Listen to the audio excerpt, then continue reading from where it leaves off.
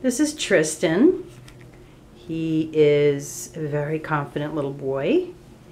He loves to be involved in all the activities in the house, and he loves other cats.